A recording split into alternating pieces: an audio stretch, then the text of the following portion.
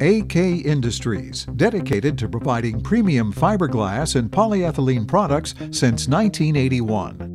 Inlet hubs from AK Industries are constructed of long-lasting cast iron and are custom designed to fit the curvature of your fiberglass basin. Each inlet hub set comes with all the nuts, bolts, gasket washers, and gasket tape needed for installation. It takes eight steps to install a cast iron inlet hub. Step number one, find the location where the center of the hub will be placed on the fiberglass basin wall. Then mark the center where the hole will be drilled.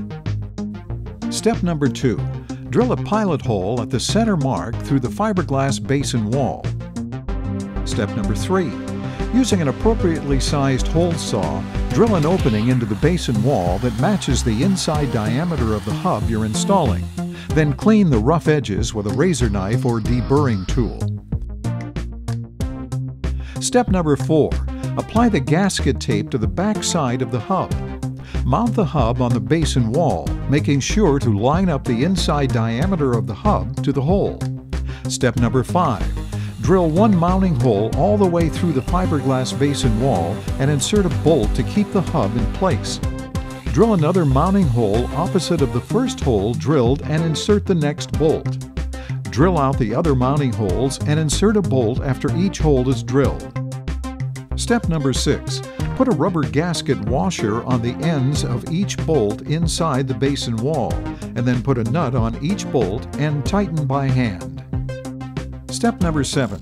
To completely secure the hub to the fiberglass basin, use a flathead screwdriver to hold each bolt in place and use a socket wrench or an impact gun with a socket adapter to tighten each bolt. Step number 8. Finish the job by sliding your inlet piping into the hub. Make sure to insert the piping all the way into the hub until it stops or bottoms out against the cast iron lip. Lastly, check your local plumbing code for approved sealing materials and methods. For more information, contact AK Industries, the best around underground.